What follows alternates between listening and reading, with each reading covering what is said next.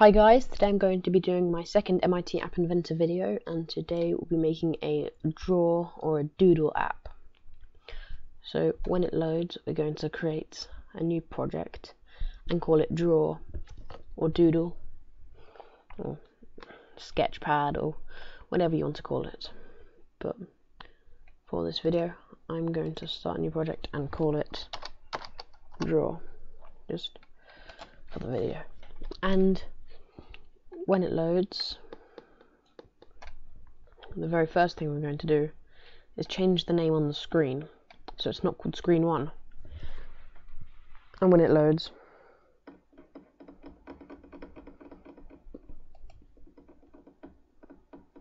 there you go.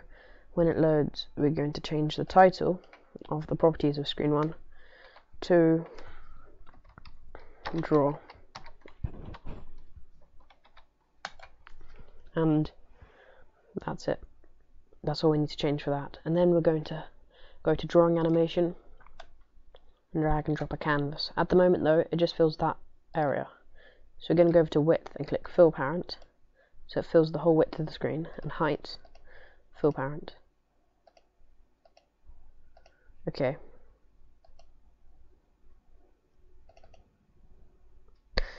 Sometimes you just have to do that when it doesn't fill the whole screen you have to check scrollable and then uncheck it and then it'll fill the whole screen. But then we're going to add a few buttons. So it's, we're going to add three buttons for the different colors and one button to wipe the screen. And as you can see though they're like that which makes the the canvas very small. So we're going to go over to layout and get horizontal arrangement and put the buttons on. So now they're like this and the user will now be able to see the lines so it all look good. Then we're going to change the text on that one to black and we'll change the font size to 20 and we'll do that same for this one except we'll call it red and the same for this one except we'll call it blue. For the video I'm only going to do these two. Colors um, you can add as many as you want but be careful because you don't want it going off the screen. So then we're going to change the text for button 4 here to clear and clear screen and then in brackets I'm going to put shake because that's what we're going to add in. Um, so um, a small nice trick that if you shake the screen it will clear. But now as you can see if we're being used by a young child who can't read we're going to um, want to have the colours. So we're going to change black to black red to red and the blue button to blue. The black can't be seen though because it's got um, a black text and a black background. So we're going to go over to the properties and on text color and change it to white. And for this, we're just going to change the background color to white. So there you go. That's that bit done. But we're also going to add an accelerometer sensor for when it, it's shaked it will clear. So that's that done. This can't be seen by the user, so it goes down here. And you can add buttons, you can add um, different color background, but for now, that's just what we're going to do. So now we're on blocks, we're going to go over to canvas 1, and we're going to do when canvas 1 not dragged, so when your finger is dragged from one point to the next, it will draw a line. So go back to canvas 1, and cool canvas one dot draw line. And we're going to do get previous x get previous y. No not set.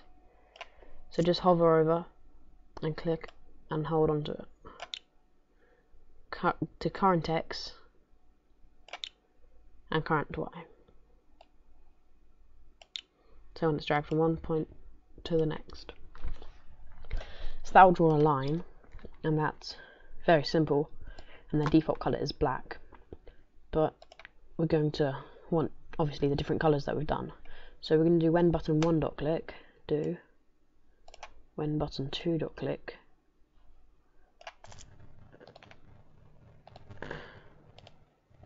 and when button 3 dot click. So button 1 was black, so we're going to go to colours, we're going to get black. Button 2 was red, and last of all button 3 was blue. So now we've got the colours there, but we need to tell the canvas to change the paint colour. So if you go to canvas 1 and scroll right down to the bottom to canvas 1 dot paint color sorry not set canvas 1 dot paint color two.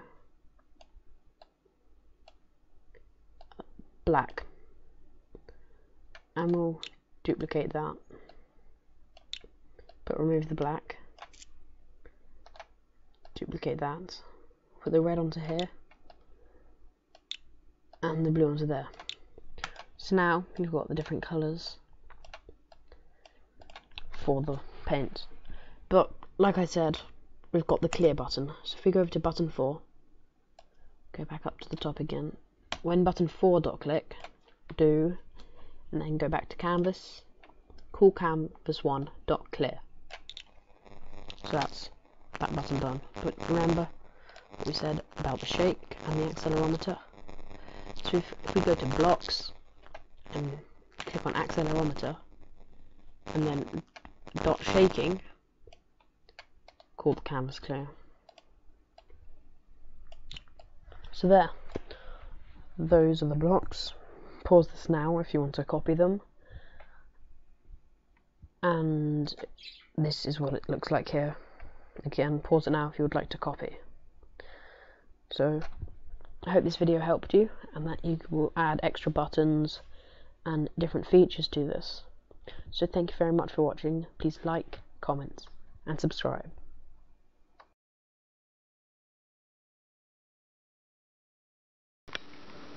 Hi guys, you've just seen me create this draw app using MIT App Inventor and I'm going to show you how to test this.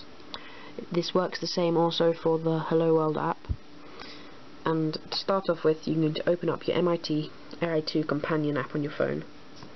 I showed you a picture of it on Google Play in my previous video and I will leave a link in the description um, for the Google Play version. So now got it open just put it down and go over to the top left hand corner of your screen and click connect and click on AI companion and then the QR code will come up and so will a six digit code. So put it back down and on the phone you can either enter the six digit code or scan QR code. So this scans, give it a while to load and then when it comes up it will show your app that you've just created. So here we have the default color, a black line then we've got red. Can you see the colours there? Blue. I'm sorry, no. Blue. There you go, there's a blue line. And then black again works there. And to clear it, you can either shake. So just do that to your phone, or if we just draw and then click clear there. So there. That's me testing this app and I'll leave a link in the description of to download the MIT AI2 companion and thank you very much for watching please like, comment and subscribe